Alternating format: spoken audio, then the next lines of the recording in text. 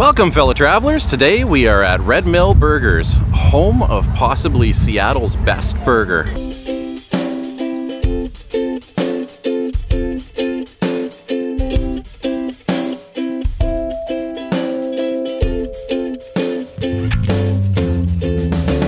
Red Mill Burgers remains one of Seattle's more popular burger destinations and won Seattle Weekly's Best of Seattle 10 years in a row. Up on the wall, the article from GQ which lists Red Mill Burgers as one of the 20 hamburgers you must eat before you die. We're going to try the Bacon Deluxe Burger, which has a quarter pound beef patty, lettuce, tomato, American cheese, and pepper bacon, as well as a side of Babe's onion rings. Red Mill Burgers was spotlighted on an episode of Man vs. Food. We're gonna give it a try.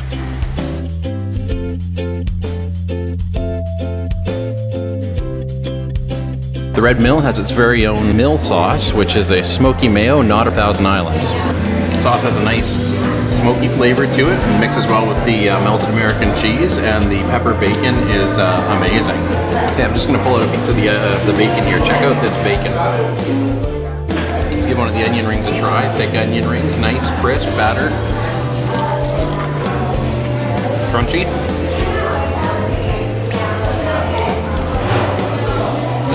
Good. So bacon is indeed meat candy, and right here we have a lot of meat candy. This is the third iteration of the Red Mill Diner. Up on the wall, there's a menu from the first one, which existed until 1967. And hiding in the corner, there's a likeness of JP Patches. On a day like today, there's plenty of seating out front of the Red Mill Burgers, and right next door, a Starbucks coffee, because we're in Seattle. So that was a tasty burger. Really enjoyed it. Uh, lots of smoky flavor, lots of cheese, lots of grease. Um, it was quite delicious.